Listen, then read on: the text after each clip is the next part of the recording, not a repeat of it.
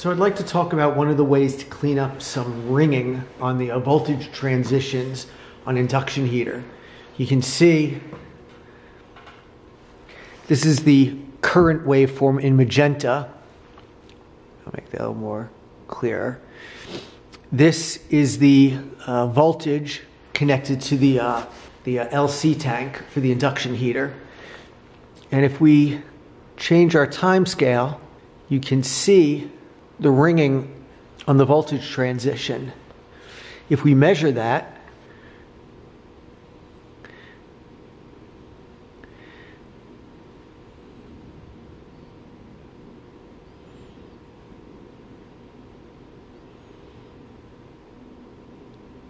here, we measure here. It looks to be about one waveform. So that's about 58 nanoseconds, which I believe is about 18 megahertz. So my induction heater frequency is about 80 kilohertz. The ringing is about 18 megahertz.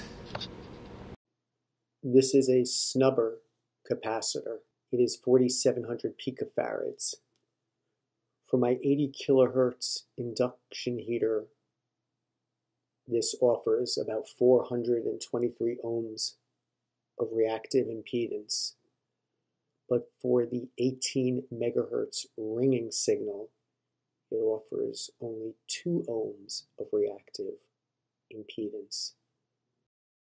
I'm going to connect the snubber capacitor across the gate to the source. And I'm going to put it across the gate right now, and let's watch what happens to that ringing. You can see it go down. And I'm going to attach it again and down.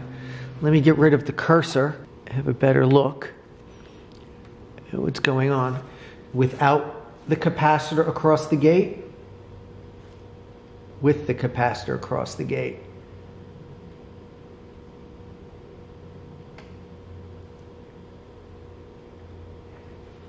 And if I change the scale,